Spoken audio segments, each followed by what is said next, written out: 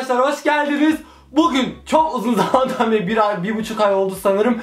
Peşine düştüğüm güzel bir beyazlatıcı, doğal olarak beyazlatıcı ve yaza uygun olarak hazırladığımız bir maske. Yıkılıyor diyorum hemen denemeniz lazım ve yorumunuzu lütfen gelip aşağı eklemeyi unutmayın. Sizin yaptığınız yorumlarla videolarımız daha çok ön plana çıkıyor ve e, tabii ki de gelip denemek isteyen arkadaşlara da nacizane kendi deneyiminizi de aktarmış oluyorsunuz. Deneyen herkesin deneyimlerini de yoruma sabitleyeceğim. Hemen videoya geçiyorum. Videoya geçmeden önce de bir beğen butonuna tıklarsanız herkese de tekrardan çok teşekkür ederim. Şimdi bayağı heyecanlıyım. Anlatımına geçiyorum. Bir tane orta büyüklükte patatesi rendeliyorsunuz. Ardından da onu bir kaba alıp suyunu bir güzel sıkıyorsunuz. Ben bu şekilde sıkıyorum. Nasıl sıkıyoruz diyenler oluyordu. Onlara da bu videoda göstermiş oldum. Bu yapacağımız da arkadaşlar 3 kullanımlar kadar kullanabilirsiniz buzdolabında saklayarak. Ardından bunun içine BİM'den aldığımız Hindistan cevizinin bir paketinin yarısını ilave ediyoruz. Bir güzel karıştırıyoruz. Hindistan cevizi patates suyunu emsin.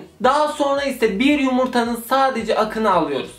Akını ister elinizle çırpın ister mikseriniz varsa mikserinizle çırpın krem şanti kıvamını alacaktır. İster elinizle, isterseniz de kaşıkla hiç fark etmez. Ben biraz daha birbirine işlesin diye yoğurmak istedim. Temiz elinizle Hindistan ceviziyle hazırladığımız yumurtayı karıştırıyoruz. Ve her şey bu kadar arkadaşlar. Hoppa!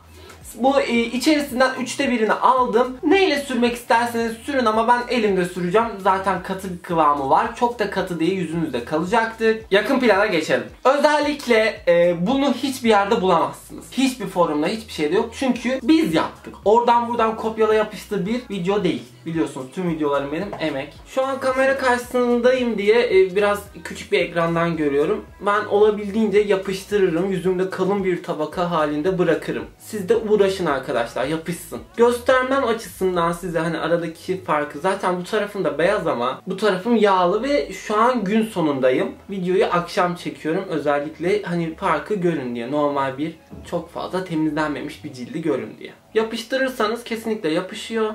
Ee, tabii konuşmayın. Bu yüzümüzde 30 dakika kalacak arkadaşlar. 30 dakika sonra yıkamış ve gelmiş olarak size before and after'ı göstereceğim. Bu arada son zamanlarda bir iki tane böyle e, kopyala yapıştır doğal bakım adı altında yapılan kanallar var. E, size şöyle söyleyeyim. 9 aydır açılmış olan bir kanalda 150 tane video var. Hepsi de bir şeylere kesin bir çözüm niteliği taşıyor. Şimdi arkadaşlar ortalama 2 güne bir atılmış video. Yani 2 güne bir oluşturulan videolar ve büyük büyük vaatler var. Sizce bunun ne kadarı doğru olabilir? Ya da ben size her zaman diyorum yüzünüzdeki çukurlukları hiçbir maske geçiremez.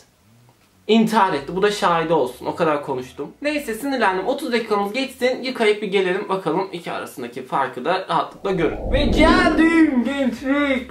Ah, şöyle yüzümüzü tampon hareketlerle siliyoruz. Ne yapıyorduk? Her zamanki gibi şu hareketler. Bunun altından buralarda pütürlerimiz olduğu için şuraya birazcık daha fazla bastırıyoruz. Yani hafiften birazcık pembeleşti. Ee, ama pürüzsüzlük e, konusunda hatta biraz şey yapayım ben ya da daha yakınlaşayım.